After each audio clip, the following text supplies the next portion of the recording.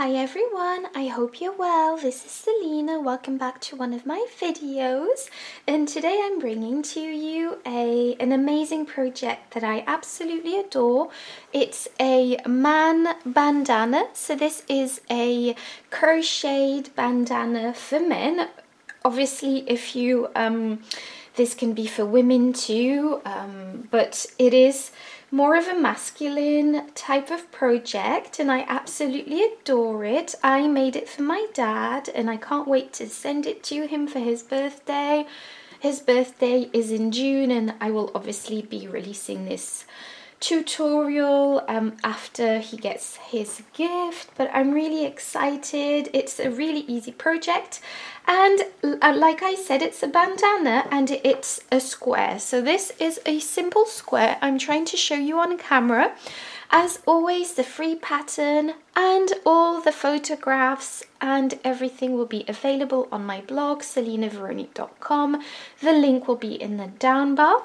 So check that out. And yeah, so this is um, kind of like a filet crochet um, project.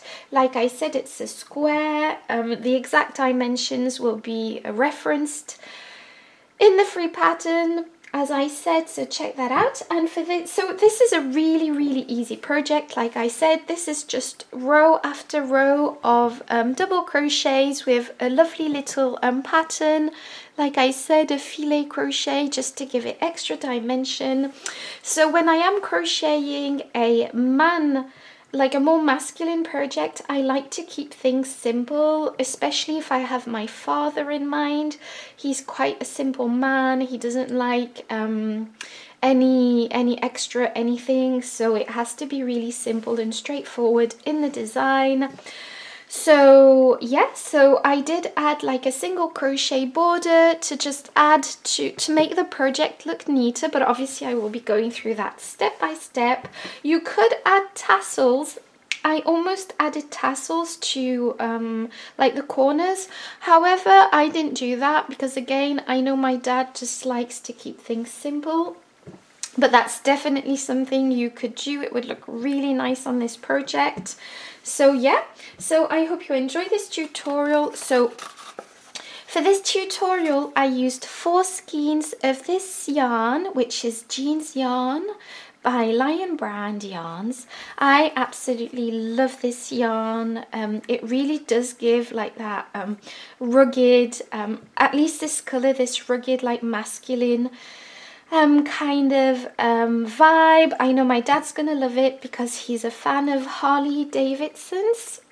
And so I think he'll really enjoy wearing that, you know, on his bike. So anyways, this is a 100 gram ball. I used four skeins and it comes in 246 yard skeins. It's considered a medium four um, yarn and I used shade classic. So there are a lot of different shades for this um, for this yarn and I really loved this shade. I actually the picture is really nice. It does give an idea of all the different shades you can find in this um, this yarn. I also used a five millimeter crochet hook a pair of scissors and a tapestry needle and that's it. So I hope you enjoy this tutorial. Um, I will be speaking in US terms with British terms in brackets. Don't forget to like comment and subscribe. And thank you to all my patrons on Patreon for supporting my work. I really appreciate you. And if you are interested in more feminine um, crochet content um, I will be adding the link to my Patreon in the down bar. In the meantime, I hope you enjoy this tutorial. Thank you for watching and I'm just going to jump into the tutorial. Okay, so for this part of the project, you will be making a slip knot. So just go ahead and make a slip knot. Pop your hook through and tighten. And now you will be chaining um, 145 chains. So one, two, three. So I have chained less because I'm just going to demonstrate how to do this stitch. So now what you will be doing is counting one, two, three, and four chains from the hook, and you should be placing your first double crochet in that fourth chain from the hook. So to crochet your first double crochet, wrap your yarn around your hook, go into that fourth chain, pull up a loop. You've got three loops on your hook. Take your yarn and pull through two loops. Take your yarn and pull through two loops. Now you will be placing another double crochet into the next stitch and another double crochet into the next stitch again and again and just place double crochets all the way along until you reach the end of this row. Okay, so for this is row one that we finished and now for row two we will be um, chaining for one, two, three, and four. Turn your work. And this um, chain four counts as your first double crochet and chain space. And it goes with this first stitch here. So what we are going to be doing now is skipping the next stitch, which is the second stitch here, and going into the next stitch with a double crochet, and that's the third stitch on the first row. So place a double crochet inside that third stitch so just go ahead and place a double crochet into that. And you see this is what is going to be creating our filet crochet um, row. So now chain one skip a stitch and go into the next stitch with a double crochet. Like so. And you see the pattern continues. Chain one skip a stitch go into the next stitch and now chain one. Skip a stitch and go into the next stitch with a double crochet. And this is also a um, the chain three from the previous row. So this is what you have. Now what you are going to be doing for the next row is chaining three, so one, two, and three. Turn your work, and this counts as your first double crochet, which goes with this first stitch. Now we are going to be placing a double crochet into each and every stitch along this row, including um, the chain spaces that we did. So now you are going to be going into the next stitch, which is a space with a double crochet. And I usually go into the stitch and place a double crochet into that. Some people simply go into the space. I hope that makes sense, but this is how I do this. So now you are going to go into the next um, stitch, which is a double crochet, and place a double crochet into that and go into the next chain space here with a double crochet and go into the next stitch with a double crochet and go into the next chain space with a double crochet and just so on and so forth until you reach the end of this row. And so we are at the end of the row and we have the chain four from the previous row here. So this does count as two stitches. Obviously it counts as a chain space. So you are going to be placing a double crochet into that. And also this counts as a double crochet. So you are going to be placing a double crochet into that stitch too. So this is what we have. And this um, last part here is quite crucial because you don't want to be missing any stitches. So make sure you have the right number of stitches. One way of doing this is to count, you know, at each row how many um, stitches you have. However, um, if it's quite a big project like this one, counting 143 um, each time can be a bit tedious, but you can still do that. Now for the next row, this is going to be a repeat of row 2. So chain 4, 1, two, three and four. Turn your work and this counts as a double crochet and chain space and it goes with this first stitch here. Skip the second stitch and go into the third with a double crochet, chain one. So you've chained one, you are going to be skipping the next stitch and going into the next.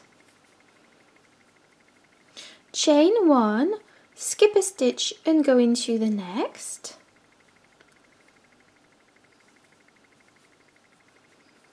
Chain one and skip a stitch and go into the next stitch like so.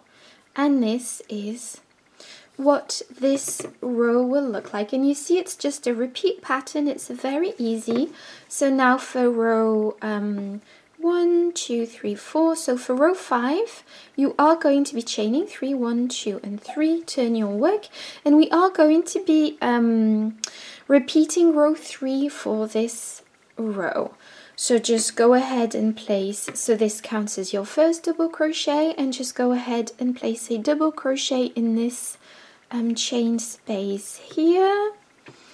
Now place a double crochet into the next stitch, like so. And place a double crochet into the chain space. And again, you see the principle is very easy. It's super easy. So for this project, you will be repeating um, this these two rows over and over. I'm just going to show you this row one last time. So this is a chain four from the previous row and of course counts as two stitches because this is a chain space and this is a double crochet. So just place your two last double crochets here. So you will be um, continuing this stitch Okay, so just carry on repeating um, row 2 and 3 until you have 67 rows in total. So that's the number of rows I needed um, so that my project would be square. Once again, I will be writing on my free pattern available on my blog the exact dimensions of this project, so check that out. The link will be in the description box and I'm just going to let you carry on this project and I'll get back to you to show you how to finish it off. Okay, so we've um, now finished our project, almost the square at least, and I'm really excited about how it looks. It looks so nice. I absolutely adore this stitch with this um, yarn. I'm really excited about it. So now what we are going to be doing is the border and the border is really easy. It's going to be a single crochet border. So what I am going to be doing is attaching my yarn um, to the project because I did fasten off. I did create this project a few days ago and I wasn't 100% sure how I was going to do the border so I did fasten off but um, you don't have to fasten off you can just um, create your border um, yeah. So now that you have your yarn um, you will be chaining one and this doesn't count as a stitch. So you are going to go back into that stitch with a single crochet. So I'm just going to explain a single crochet right now. So single crochets so to create your single crochet di go directly into that stitch and pull up a loop. You have two loops on your hook and pull your yarn through two loops. Now go into the next stitch. Pull up a loop. You've got two loops on your hook and go through two loops. And as you can see I am um, tidying up my loose end as I am going so just carry this on, just place a single crochet all along this edge and then I'll get back to you once we've finished this side to show you the other side. Okay, so I've gone um, across this whole first row here and now I'm just going to turn my project um, to carry on this um, single crochet row. Obviously we want to go all the way around this project and this is what I call the wrong side of the stitches.